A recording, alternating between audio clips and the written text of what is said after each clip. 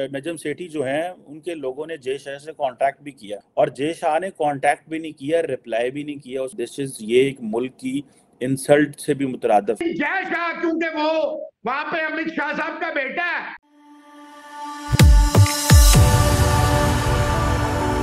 जय हिंद दोस्तों मोदी देश में आपका स्वागत है। दोस्तों आज पाक मीडिया बात करें कैसे? पीसीबी के जो नए चेयरमैन है नजम सेठी क्योंकि आपको याद होगा कैसे रमीज जाजा जो पीसीबी के पूर्व चेयरमैन थे, उन्हें सतारा बंदों ने मिलकर रात के ढाई बजे धक्के मार के पीसीबी से निकाल दिया था। तो अब नजम सेठी आए हैं। तो नजम सेठी रो रहे कि मैं जैसा को मैसेज करता हूँ, ईमेल करता हूँ, कॉल करता हूँ, पर जैसा मेरा फ़ोन भी नहीं उठाते, ईमेल भी नहीं खोलते, मैसेजेस भी नहीं देखते। तो जैसा इससे पाकिस्तान का इंसल्ट कर रहे हैं और नजम सेठी इस पर भी रो रहे कि जैसा ने एशिया कप का स्केड्यूल निकाल दिया, पर पाकिस्तान को एक बार भी नहीं पूछा। तो रमीज राजा जैसे रोना धोना करते थे तो अब नजम सेठी भी आके भारत पे रोना धोना उन्होंने शुरू कर दिया। तो दोस्तों, ये वीडियो बहुत ही मज़ेदार है तो इसे पूरा ज़रूर देखिएगा। तो चलिए और इंतज़ार न करके वीडियो देखते हैं। Because this is not about a cricket match this is ये एक मुल्क की इंसल्ट से भी मुतरदफ है कि अगर आप कहीं मैच जीत के आते हैं तो आपको लोग प्रोफेशनल कंसिडर करेंगे। अगर आप कहीं मैच हार के आते हैं एक थर्ड क्लास क्रिकेट खेलेंगे लोग कहेंगे यार इनकी तो टीम थर्ड क्लास है इनके मुल्क में क्या जाना है? जय शाह क्योंकि वो वहाँ पे अमित शाह साहब का बेटा है इसलिए वो जो है कामयाब रहा। आप देखें ये जो पॉलिसियाँ कर रहा है ये सेल्फ डिस्ट्रक्शन मोड में है। बीजेपी की सोच जो महासभाई सोच है वो तो यही है कि पाकिस्तान को कहीं भी आगे ना बढ़ने दो, कहीं भी उनका दाल ना गलने दो तो ये उनकी पॉलिसी है, जिस पे वो चल रहे हैं। मुझे ये, मुझे बल्कि जो ये समझ नहीं आई कि जब ये ये इवेंट पाकिस्तान को देने का फैसला हुआ था, उस वक्त भी हिंदुस्तान मौजूद था, बल्कि शायद सदारत भी उनके पास थी, उस वक्त ये कैसे हो गया? आप बैठे बैठे आपने एकदम इतना बड़ा यू टर्न दे के ये ऐलान डाल दिया है कि जी चूँकि सिक्योरिटी की के मामला ठीक नहीं है तो इसलिए हमारी टीम खतरा महसूस करती है। नजम सेठी हैं, जो कि आजकल के पाकिस्तान की क्रिकेट को देख रहे हैं। जब से जो क्या नाम है उनका रमीज राजा साहब हटे हैं। और उन्होंने कहा जी कि इन्होंने जय शाह साहब ने यूनिलेटरली जो है, वो एशियन क्रिकेट काउंसिल का स्ट्रक्चर और कैलेंडर जारी कर दिया है। और हमें पूछा ही नहीं है। सेठी साहब ने बड़ी कंप्लेन की, कहा कि यार ये क्या बात हुई? कि आपका दिल तो ये करता है कि हम इंडिया में आके खेल ले, लेकिन आप पाकिस्तान में आके नहीं खेलना चाहते। अब जो मिसाल के तौर पे नजम सेठी जो हैं, उनके लोगों ने जय शाह से कांटेक्ट भी किया कि अगर आप दुबई हैं तो मैं दुबई आ जाता हूँ, वहाँ मिल लेते हैं। और जय शाह ने कांटेक्ट भी नहीं किया रिप्लाई भी नहीं किया उसके लोगों ने।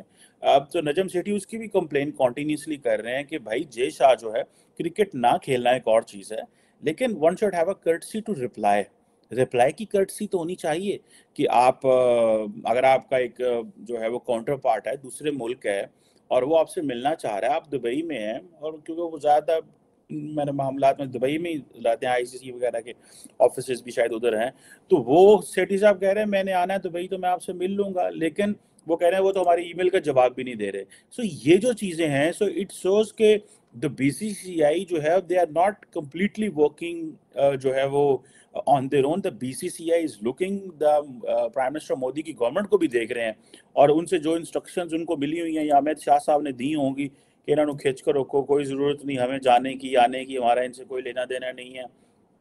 और ये चीज़ें हैं। अब जारी बात है पाकिस्तान को इस चीज़ की बड़ी तकलीफ़ हो रही है कि जिसे कहते हैं ना कि ये सारा जो कैलेंडर वगैरह शो किया गया है, इसमें पाकिस्तान का ज़िक्र ही नहीं किया हुआ। ना आपने वो सारा बताया, आप वो वो कैलेंडर जो है वो अवेलेबल है ऑन मीडिया भारत की तरफ़ से उम्मीद रखना दैट इज़ नॉट देयर मेरा ख्याल है पाकिस्तान को इमीडिएटली अपने आप को इंटरनेशनल क्रिकेट जो है उनसे कनेक्ट करना चाहिए टीमों से कनेक्ट करना चाहिए इंटरनेशनल मीडिया के लोगों से जो स्पोर्ट्स के रिलेटेड है उनसे कनेक्ट होना चाहिए। सिटी साहब की अगर मैं बात करूँ देखें सिटी साहब ने सारा मैसेज उसी तरह कन्वे कर दिया जैसे एक फ़ैन कन्वे करना चाहता है। Yes. मैं कन्वे करूँगा अगर इंडिया को मैसेज में यही बोलूँगा इंडिया को कि भाई देखें हमें नहीं पता हमें ये पता है कि गवर्नमेंट के क्या इश्यूज़ हैं। रियलिटी यही है कि देखें इंडिया और पाकिस्तान दूसरे को मुल्कों में तब खेलेगा जब दो लोग चाहेंगे yes. वहाँ से नरेंद्र मोदी यहाँ से शबाज शरीफ यहाँ पचास हज़ार दफ़ा कह चुके लेकिन अगर मैं अपनी तरफ़ से मेरे हाथ में कल को कोई पावर आ जाती है और मैं कोशिश भी करना चाहूँ मैं बहुत बड़ा क्रिकेट का फ़ैन हूँ। हम्म, तो मैं जाऊँगा और बोलूँगा यार देखो यार मेरी मुल्क में भी लोग हैं हर किसी का है। एक वो प्रेस्टीज रिस्पेक्ट होती है। तो हमारा भी हक है जब सब आ गए तो यार कोशिश करो तुम अपने वालों से बात करो। हम्म। कोशिश करके देखते हैं मैं अपने वालों से बात करता हूँ कोई भी ब्रेक आइस करनी तो जो ब्रेक करने की जो मिडिल डिप्लो- वे जो निकालते हैं डिप्लोमेटिक चैनल है ना नजम सिटी बिल्कुल बात सही कह रहा है कि। जय शाह को दो दफ़ा ईमेल की गई कि आप डिप्लोमेटिक चैनल को जरा बहाल करें ताकि हमारे बीच में डायलॉग तो हो ना हो रहा है नहीं हो रहा है ये सिटी ने भी बोला कि हम्म। हो रहा है नहीं हो रहा दैट इज़ अनदर चैप्टर क्योंकि देखो विक्रांत ने भी है तो विक्रांत जर्नलिस्ट उन्होंने भी हम्म। बड़ा पुश किया कि किसी तरह सिटी ये बताते कि न्यूट्रल वेन्यू लेकिन सिटी ने बात कर दी कि जब वो वक्त आएगा when the time will come when the time will come we will cross the bridge और सिटी साहब को आई होप कि कोई डायलॉगों का सेटअप हो सके जेशा के साथ क्योंकि हम्म। अब बहुत सारे लोग जेशा को भी पुश करेंगे स्टेटमेंट के बाद। चलिए दोस्तों इस वीडियो पे बात करते हैं।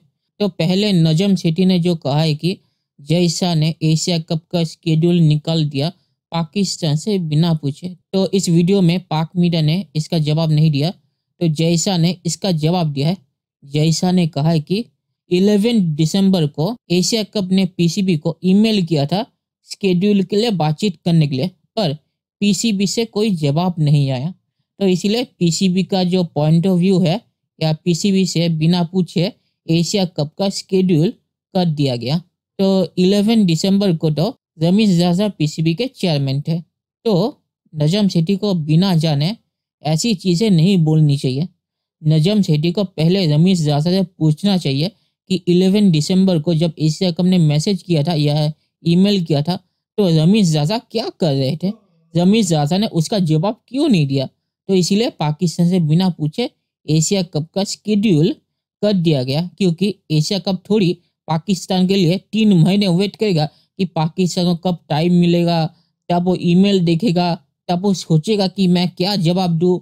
और फिर एशिया कप तीन महीने के बाद जब एशिया कप खत्म हो जाएगा, तब एशिया कप का स्केड्यूल देगा तो नजम सेठी पहले पीसीबी के जो लोग हैं, उनसे पूछे कि उन्होंने जवाब क्यों नहीं दिया।